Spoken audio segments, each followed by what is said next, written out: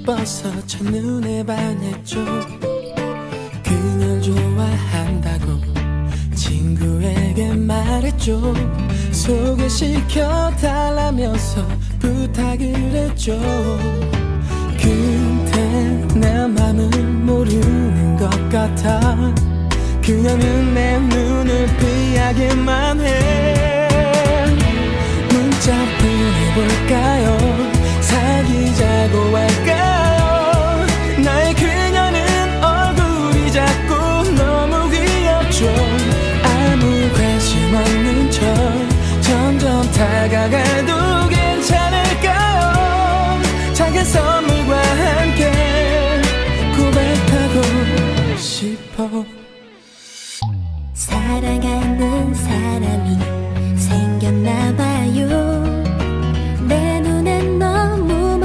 웃어서 첫눈에 반했죠 그 사람이 웃을 때 내 심장이 뛰어요.